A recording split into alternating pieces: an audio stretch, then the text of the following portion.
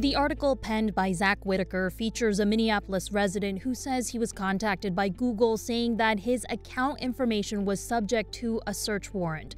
The search warrant obtained by Whittaker shows a police officer is asking Google for location history data from devices that reported a location within the geographical region bound by coordinates, dates, and times, also known as a geofence warrant. A geofence warrant allows law enforcement to receive with with a judge's approval, cell phone information, including a unique cell phone identifier.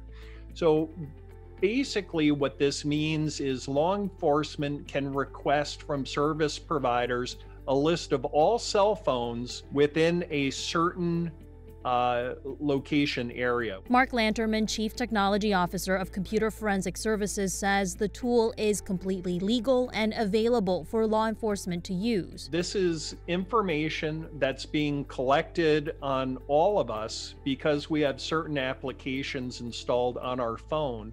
And then again, these warrants are ordering these service providers to turn over our information whether we've done anything wrong or not. How much teeth does a company like Google have to kind of stand its ground and say, no, we are not sharing that information with you? I think that these are issues for the courts to address. Um, I know that when an organization like Google receives a court order, they will comply. While a discussion is ongoing, including with the ACLU on whether geofence warrants are unconstitutional because it could also capture location data of those who may have not been involved with any criminal activity, Lanterman says as consumers, we're always in a trade off. This is a, a tool that is being used and will continue to be used by law enforcement.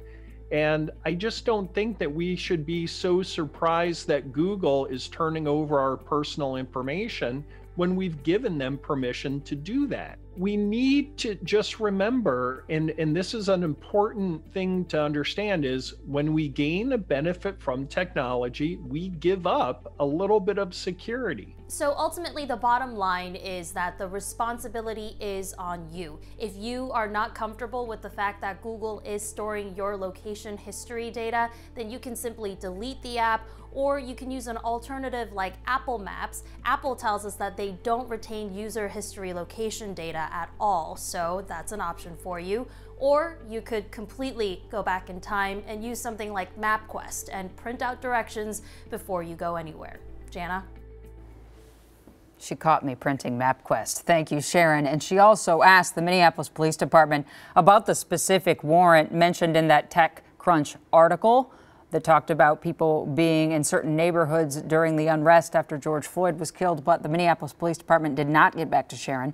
Lanterman says the technology and approach, if you've heard of it or you think you have, you have. It was used after the insurrection at the U.S. Capitol last month. That's how they were able to charge hundreds of people in that incident.